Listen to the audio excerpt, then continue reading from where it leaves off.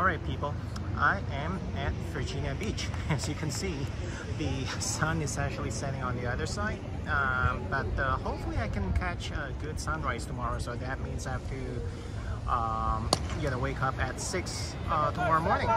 But yeah, this is Virginia Beach. Um, I like the beach. It's actually pretty uh, clean, you with white sands and that kind of stuff. So, uh, but yeah, I'm gonna walk over a little bit more because that looks like a Neptune statue. Stick around.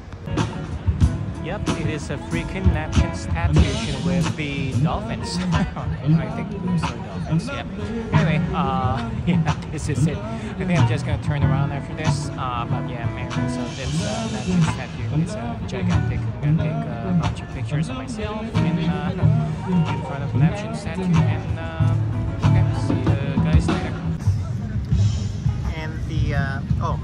mention that the air here is um, quite nice. I mean, it's uh, no pollution to speak of. Everything is really, um, you know, it's clean.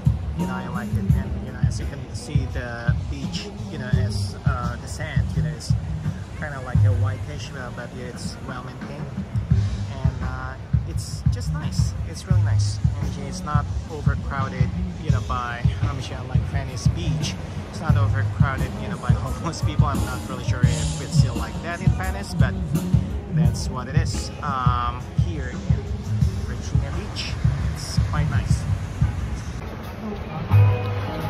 And also, I just want to mention that uh, this is actually the second time that I actually went to uh, the Atlantic Ocean. Uh, like, thinking I went to Miami about, uh, I say like you know, 14, 15 years ago. No, actually it's more, uh, back in 2003.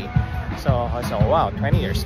Uh, anyway, um, back then, I mean, you know, like I couldn't see the sunset either, you know, in the uh, Atlantic Ocean, but uh, you know, I just feel really grateful uh, and blessed that you know I'm here to witness it because this is like the farthest that I've been, you know, like driving, know, from home, and you know, of course, you know, I'm gonna be driving more up until Maine, and you know, start coming back.